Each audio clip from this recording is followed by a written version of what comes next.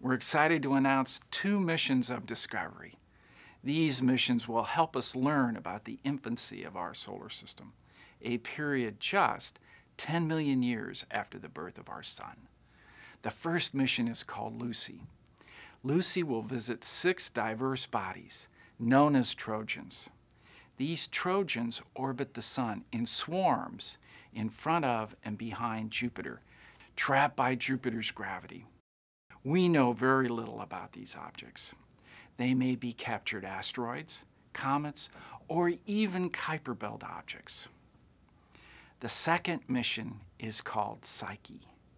Psyche will take us to a very large and rare asteroid made of metal. 16 Psyche is the asteroid. It is made of metallic iron and nickel, much like the Earth's core.